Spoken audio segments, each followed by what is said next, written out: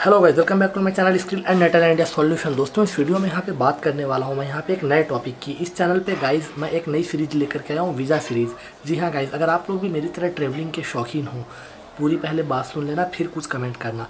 Travelling के शौकीन हो और अभी घर पर बैठे बैठे बोर हो गए हो, और आगे अभी आप लोगों के पास करने के लिए कुछ नहीं है सिवाय प्लानिंग के। जैसे कि अभी मैं कर रहा हूँ, क्योंकि आपको पता है कोरोना वायरस की वजह से कोवाइड जी हाँ गाइज़ कोरोना वायरस की वजह से अभी पूरी जितनी भी दुनिया है, दुनिया की तमाम कंट्रीज़ हर जगह लॉकडाउन है। तो ऐसे में आप लोग अपने घर पे रहिए और अपनी गवर्नमेंट का, अपने देश का और अपने परिवार वालों का थोड़ा सोचिए। घर पे जो है फैमिली को टाइम दीजिए, बाहर मत जाइए। मैं ये वीडियो जो है बात के लिए बना रहा हूँ, ताकि आप लोग अभी इस वीडियो को देखो और फ्यूचर में अगर आप लोगों की ट्रैवलिंग प्लानिंग है ट्रैवल की ट्रैवल से रिलेटेड कुछ सोच रहे हो, अगर आप लोगों को कहीं जाना है तो आप लोगों को प्रॉब्लम ना आए। मैं आप लोगों को कुछ इस वीडियोज़ में ऐसी बातें बताऊँगा, जो फ्यूचर में आप लोगों के लिए चाहे कभी भी ट्रैवलिंग करो, आपको हेल्पफुल रहेंगी और साथ ही साथ कुछ ऐसी कंट्रीज़ इस वीडियो में यहाँ पर बताऊँगा।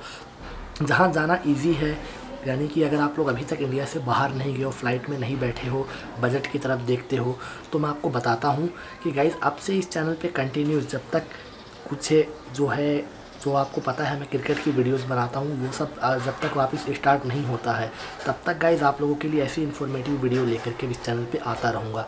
तो जो इस चैनल को देख रहे हैं, उनसे रिक्वेस्ट है कि चैनल को सब्सक्राइब करना और बेल आइकन को प्रेस करना।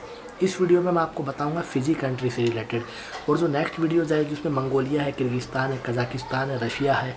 और ऐसी ढेर सारी कंट्रीज़ है जहाँ की वीज़ा आपको कैसे लेना है। ईज़िली आप लोग वहाँ का वीज़ा ले सकते हो।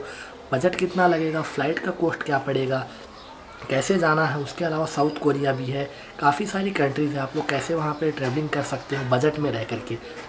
जी हाँ गाइज़ अगर आप लोग स्टूडेंट हो या आप लोग थोड़ी बहुत सेविंग करते हो पार्ट टाइम जॉब करते हो, घूमना चाहते हो सात आठ दिन, दस दिन, और एज़ कंपेयर टू इंडिया अगर आप लोग देखो तो वो कंट्रीज़ इतनी चीप भी नहीं है और ना इतनी महँगी है। अगर इंडिया से कंपेयर करो तो सेम है, कुछ चीज़ें महँगी है, कुछ सस्ती है। तो अब आते हैं हम लोग पॉइंट पे। तो गाइज़ मैं बात कर रहा हूँ पे फ़िजी कंट्री की। फ़िजी जो है एक न्यूजीलैंड के पास में एक छोटी सी कंट्री है। फ़िजी आइलैंड भी काफ़ी सारे लोग बोलते हैं। टोटल आबादी भी उस कंट्री की काफ़ी कम है। आई थिंक पंद्रह से बीस लाख है। और 45 परसेंट पॉपुलेशन जो वहाँ की हिंदी बोलती है। तो एक हिंदी बोला जाने वाला देश है। वहाँ के लोग फ़िजी हिंदी बोलते हैं। मैं आपको उसके पीछे का भी लॉजिक बताता हूँ। अट्ठारह या सैंतीस में यहाँ से कुछ वर्कर्स को अंग्रेज़ लेकर के गए थे वहाँ पे काम करने के लिए। उनमें से कुछ जो इंडियन थे वो कभी लौट करके आए ना और वो वहीं के, यानी कि फ़िजी के लोगों को फिजियन कहा जाता है। तो वो वहीं फ़िजी के होकर के रह गए। तो इस वजह से वहाँ पे हिंदी जो है, अगर आप लोग फ़िजी जाते हो तो आप लोग बिल्कुल भी शौक नहीं होगे वहाँ के लोगों को हिंदी बोलते हुए, सुनते हुए देखकर। और बात करता हूँ वहाँ की करेंसी की। एक फिजियन डॉलर इंडिया का है तीस रुपये के बराबर, यानी कि one Fijian dollar equal to thirty rupees इस चीज़ को मत देखिए।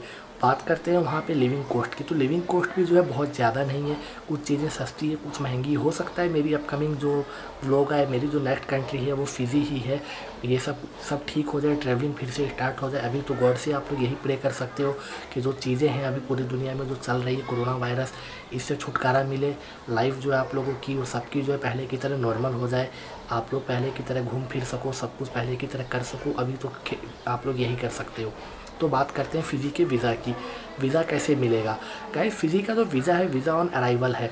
इसके अलावा जो नेक्स्ट वीडियोज़ आएगी, उसमें कम्बोडिया भी है, वियतनाम भी है, काफ़ी सारी कंट्रीज़ रहेंगी, कतर भी है, जिनका वीज़ा आपको कैसे लेना है, घर पे बैठ करके भी कुछ कंट्रीज़ के मिल जाते हैं ऑनलाइन और कुछ के आपको एम्बेसी जाके भी इजीली मिल जाते हैं। और कुछ के ऑन अराइवल वीज़ा हैं। तो फिजी का जो वीज़ा है वीज़ा ऑन अराइवल है।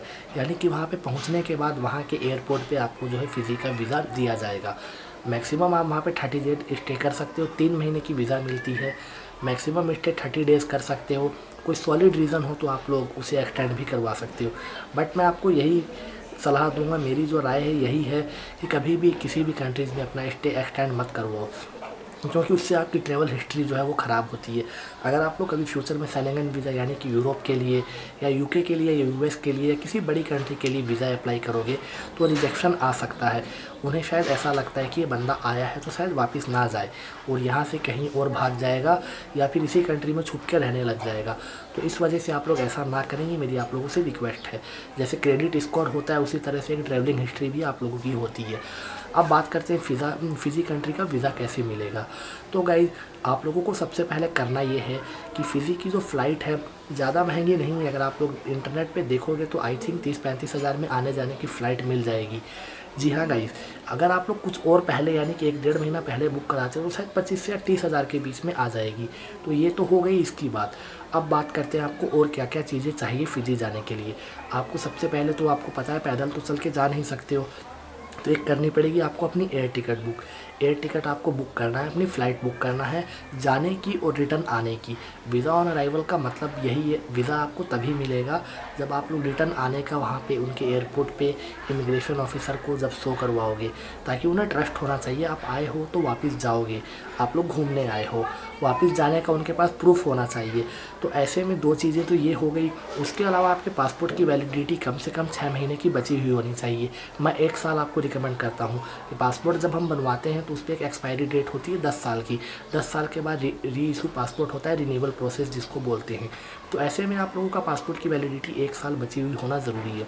उसके अलावा जब आप फिजी जाओगे तो वहाँ पे आप लोग कहीं स्टे भी करोगे, ऐसा तो है नहीं रोड पे रुकोगे तो आपको अपनी होटल बुकिंग दिखानी पड़ेगी। आप ओयो से कर सकते हो होटल वर्ल्ड से कर सकते हो माई बुकिंग डॉट कॉम से कर सकते हो। गोवा वीवो से कर सकते हो। मैं रिकमेंड करूँगा आपको माई बुकिंग डॉट कॉम क्योंकि वहाँ से आप लोग हॉस्टल भी बुक कर सकते हो। तो ऐसे में ये चीज़ें हो गई और इसके अलावा जो मेन इंपॉर्टेंट चीज़ है, कुछ लोगों को एयरपोर्ट से वापस भेज दिया जाता है। फ़ंड आपको कुछ दिखाना पड़ेगा वहाँ पर एयरपोर्ट पर या लिक्विड आपके पास कैश हो सकता है कुछ डॉलर आपको दिखाने पड़ सकते हैं। ताकि आप सात दिन का जब आप जाते हो यहाँ से फिजी तो आने की रिटर्न टिकट आप जैसे बुक करवाते हो दस दिन के बाद की। मैं आपको यही रिकमेंड करूँगा, दस या पंद्रह दिन की ही आप लोग रिटर्न टिकट बुक करवा के उनको दिखाना। ये ना करना कि आप लोग एक महीने बाद की रिटर्न टिकट बुक करवा लो, वरना हो सकता है कि वो रीज़न पूछें कि इतना लंबा आपको क्यों घूमना है? इतना लंबा यहाँ क्यों रुकना है? एयरपोर्ट पर ऐसे सवाल कई बार मैंने भी फेस किए हैं। उन्हें रीज़न बताना पड़ता है, क्योंकि फिजी जो काफ़ी छोटी कंट्री है और ज़ाहिर सी बात है कि छोटी कंट्री में एक महीने आपको करना क्या अगर आप लोग घूमने जा रहे हो तो। तो ऐसे में आप लोग दस पंद्रह दिन की रिटर्न टिकट अपनी बनवा सकते हैं और दस पंद्रह दिन की आपके पास होटल बुकिंग भी होनी चाहिए। और उसके अलावा आपके पास इतना पैसा होना चाहिए कि दस दिन वहाँ पे आप लोग जो है रह सको सरवाइव कर सको, अपना रहने का, खाने का इंतज़ाम वहाँ पे कर सको। तो अगर ये सब चीज़ें आपके पास है तो ईज़िली आपको फ़िज़ी में जो है वीज़ा ऑन अराइवल मिल जाएगा, आपके पासपोर्ट पे स्टाम्प लग जाएगी और आप लोग फ़िज़ी में जो है स्टे कर सकते हो। तो ये हो गया इस फ़िज़ी का वीज़ा ऑन अराइवल इससे, इसके अलावा अगर आप लोग फ़िज़ी का पहले अगर वीज़ा लेना चाहते हो तो ऑनलाइन वीज़ा मिल जाता है, जिसको ई वीज़ा बोलते हैं। आप लोग इंटरनेट से इजीली आप लोग काफ़ी सारी वेबसाइट से आप लोग जा के ले सकते हो। बट उसमें कोई फ़ायदा नहीं है। और एक चीज़ और, वो वीज़ा किसको लेना चाहिए बता देता हूँ। जैसे आपका पासपोर्ट एकदम नया है, एकदम फ्रेश पासपोर्ट है। आप लोग किसी भी कंट्री नहीं गए हो, पहली बार फिजी जा रहे हो। पहली बार वीज़ा ऑन अराइवल शायद अगर आप लोग लोगे तो मे भी रिजेक्शन आ सकता है आपको एयरपोर्ट से वापस इंडिया भेजा जा सकता है। ऐसे में आपके फ़्लाइट के पैसे बुकिंग के पैसे सब जो है आपका टाइम ये सब जो है वेस्ट होगा और आप लोग वहाँ पे जाके एयरपोर्ट से वापस नेक्स्ट फ़्लाइट से इंडिया भेज दिए जाओगे। तो आपका अगर पासपोर्ट फ्रेश है तो मैं आपको रिकमेंड करूँगा कि पहले आप लोगों को भूटान है, नेपाल है, कुछ इस तरह की कंट्रीज़ जो आपको विज़िट करनी चाहिए पासपोर्ट पे। एक दो आपके स्टाम्प होनी चाहिए, ताकि उनको लगे कि ये बंदा एक ट्रेवलर है, घूमने आया है और वापस घूम करके चला जाएगा। और एक और आप लोगों से रिक्वेस्ट है कि मेरे से वीडियो में कोई भी ये ना पूछे कि फ़लानी कंट्री की जो है वर्क परमिट कैसे मिलेगा वर्क वीज़ा कैसे मिलेगा। मेरे को इस सब चीज़ों का कोई नॉलेज नहीं है। मैं आज तक जितनी भी कंट्री गया हूँ, सिर्फ़ और सिर्फ़ ट्रैवलिंग के पर्पज़ से गया हूँ। ना मेरा ये पर्पज़ है कि मुझे कहीं छुप जाना है, मुझे भाग जाना है। नहीं, ऐसा कुछ नहीं है। मैं घूमने जाता हूँ, वापस लौट के मुझे इंडिया आना होता है। तो गाइज़ मुझे वर्क वगैरह का नॉलेज नहीं है। वर्क परमिट कैसे मिलेगा, क्या है, वो आप लोग इंटरनेट पर सर्च कर सकते हो। यूट्यूब पर भी आपको काफ़ी ढेर सारी वीडियोज़ मिल सकती है। आई होप कि ये वीडियो आपको समझ में आई होगी और इन्फॉर्मेशन जो है आप लोगों को अच्छी लगी होगी। तो वीडियो को लाइक कर देना। और सब्सक्राइब करके बेल आइकन ज़रूर प्रेस कर देना। तो नेक्स्ट वीडियो जो आपको बता देता हूँ गाइज़ नेक्स्ट वीडियोज़ में आपको वियतनाम के बारे में मैं बताने वाला हूँ।